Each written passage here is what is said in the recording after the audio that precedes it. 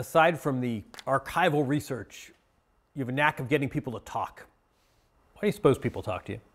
I try to be unassuming. You know, I know some there are reporters who are like bulldogs and like yelling on the phone, and that's just not my approach. I'm also almost on all the things I write about, I'm really ignorant, and I go into them being very honest about my ignorance.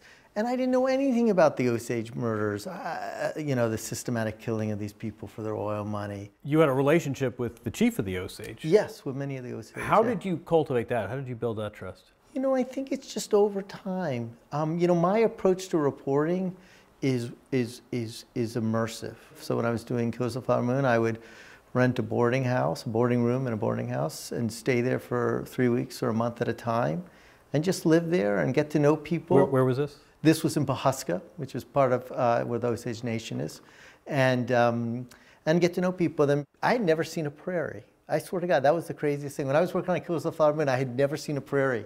And, uh, you know, talk about immersion. I had to describe um, uh, one of the people in the story who had slept in the prairie one night on a journey that she took.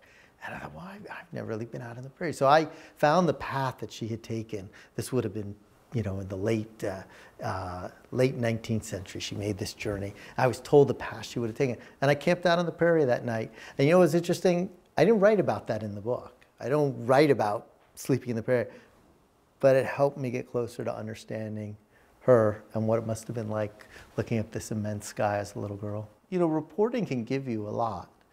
And these experiences, you know, I joke about them and the adventures, but you know, these experiences can really touch you and you can, you can, you develop relationships and, and friendships and, and things that change you. And so for me, that is like, that's the reward. I mean, that is really the secret reward. And th th those parts aren't always in, in the books or the stories you tell, but they are the things that enrich your life. And it's why I like doing what I do.